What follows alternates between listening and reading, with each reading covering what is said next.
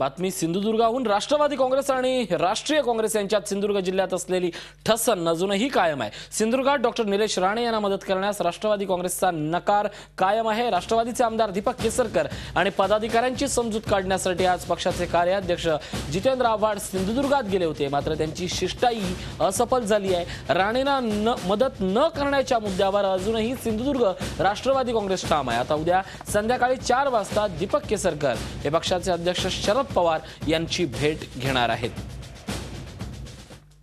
थोडीशी नाराजी आहे. सगळंच आलबेल आहे असं मी अजिबात म्हणणार नाही. पण साहेबांशी झालेल्या चर्चेप्रमाणे काल रात्री साहेबांनी काही निरोप काही आदेश मला दिलेले आहेत.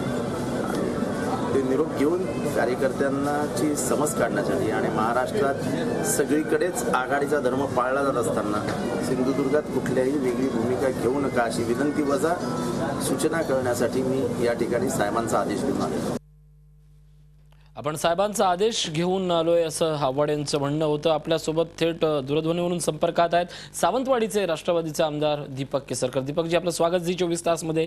उद्या तुम्ही पक्षाच्या नेतृत्वाशी शरद पवारांशी भेट घेणार आहात. नेमकं या वेळी तुम्ही कार्यकर्त्यांच्या कोणत्या भावना मांडणार आहात आणि आपल्या असंतोषाचं कारण नेमकं काय सांगणार आहात? खरं तर सिंधुदुर्गाला आज शांततेची आवश्यकता आहे आणि या शांततेसाठी राष्ट्रवादीचा लढा हा नेहमी राहिलेला आहे.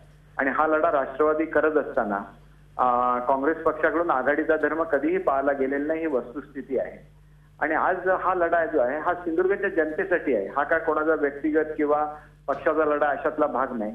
आणि जर वेळोवेळी सांगितलं जात होतं की कुठेतरी आपण लोकशाही मधली जी तत्व आहेत त्याचं पालन करूया त्याला ते हास्यास्प त्याचं हास्यास्पद रित्या ते घेतलं जात होतं राणेंच्याकडून. आणि राणे त्याच्यावर वेगवेगळ्या कॉमेंट्स देत होते. तरी राष्ट्रवादीचे कार्यकर्ते शांत होते. आता त्यांची निवडणूक आहे. त्यावेळेला एक भूमिका घेतली आहे की अशा प्रवृत्तीच्या बरोबर आम्ही जाणार नाही. आणि ही भूमिका केवळ राष्ट्रवादी काँग्रेसच्या कार्यकर्त्यांची नाही तर सर्वसामान्य नागरिकांची भूमिका आहे. ज्यांच्यावर प्रत्येक वेळेला अत्याचार होत आलेले आहेत अन्याय होत आलेला आहे. आणि त्या राष्ट्रवादी काँग्रेस हे त्यांचं एक प्रतीक म्हणून ते कार्यकर्ते उभे राहिलेले आहेत. आणि इथं कुठेही पक्षाचा आपण आदेश मोडावा अशी भावना नाही आहे केवळ जे काय सिंधुदुर्ग जिल्ह्यामध्ये चाललेलं आहे ते चुकीचं आहे. आणि ते थांबलं पाहिजे अशी भावना त्याच्या मागची आहे. नक्कीच ही भावना आहे ही भावना तुमचे नेतृत्व उद्या काय दखल घेतं आणि कदाचित नेतृत्वानं आघाडीचा धर्म पाळण्यासंदर्भातल्या दिलेल्या सूचनेनंतर पुन्हा राजकीय चित्र काय होतं या सगळ्याकडे झी चोवीस तासचं लक्ष राहील. धन्यवाद. केसरकरजी आमच्याशी बोलल्याबद्दल. झी चोवीस तास रहा एक पाऊल पुढे.